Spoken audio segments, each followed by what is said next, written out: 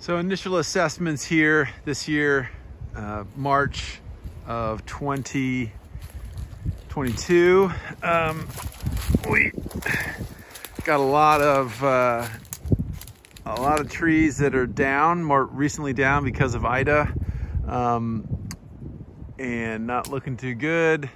Um, but also the canopy looks quite poor. Um, so uh, even though we are in mid-March right now, very few things are leaf, leaf have leafed out and things are still either unleafed or just leafing. Some things, um, like the box elders seem to be um, in flower, but they're not really in leaf yet. So very, very weird year, um, very difficult uh, to identify trees based on leaf morphology um, uh, this year. So, so a lot of open canopy, not a lot of photosynthetic material on these trees here in southern Louisiana in mid-March of 2022.